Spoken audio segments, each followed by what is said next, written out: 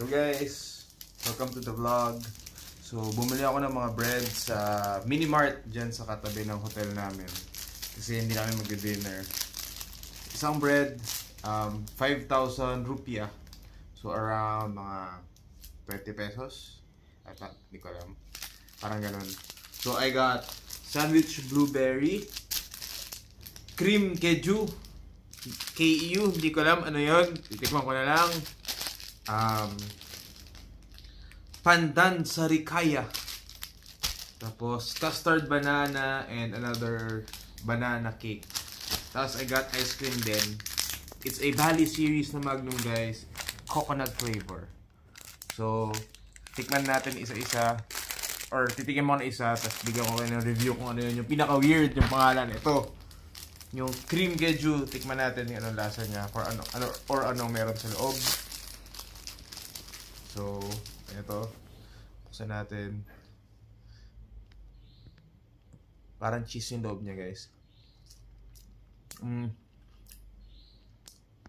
Parang cream cheese. Okay na, ma'am. Gusto mo ba, tita Pam? Ayaw mo. Parang siyang cream cheese yung loob, guys. Okay naman, for 5, 20 pesos. Okay, ko na ito lahat. Kainin ko na lahat to. Pengi. Kainin ko na lahat to. Tapos tikman natin. Okay guys, so next naman itatry natin itong Pandan Sarikaya. So, I'm assuming na gawa to sa pandan filling. So, open natin guys. Uh, meron siyang parang So, yung pandan yung bread. Ewan ko anong loob. Pandan din yung loob. Ano to?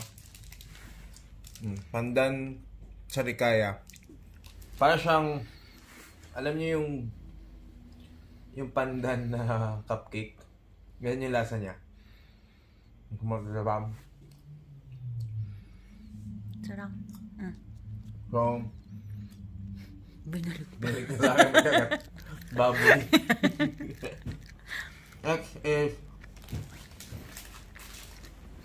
custard banana guys. Mm. Ito okay ito. Bala is may ligay sa pandan. Bala, mm, okay yung pandan flavor Ano na lang to? Ano lang diba? to?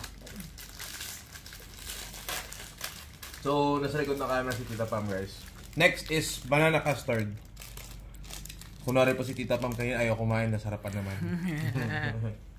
Ito guys, lakas ng banana, ano niya, banana smell. Ayan. Ayan. Mm. Sarap. Parang kung ito lahat ng mga tinapay dito sa Bali. Sana may ganito rin sa Pilipinas. Ako siya pang baon. Parang mukbang, mukbang video na itong ginagawa ko. ASMR. Eh, ano? ASMR. MR. Hmm. O, tik tita ba, tikman mo. Ayaw mo. Ayaw niya ng banana. So, next is ito. Blueberry san uh, sandwich blueberry. Gawa to guys ng Sari Roti Company. That's sila. And then, iba-iba pala. May Mr. Bread, may Sari Roti. So, ito yung sandwich blueberry. Hindi ko alam kung ito mga kinds ng sandwich uso dito talaga sa Bali. Or doon lang sa, gro- sa grocery na bilhin natin. So, ito yung loob niya. Mmm, masarap. Parang blueberry jam.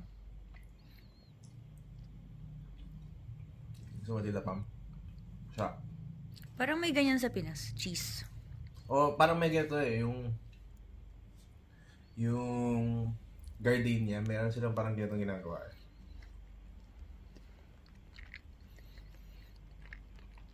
Mhm. Last na ito try natin ay yung soft banana cake.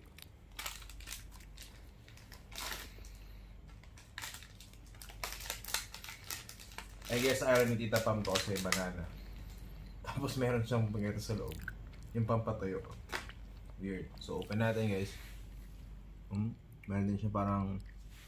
Yung feeling niya, parang yung feeling din nung um, banana bread. Mm, mas masarap yung ito. Mas masarap yung banana bread. Medyo weird yung lasa nito. So, yun lang guys. Thanks for watching. Peace!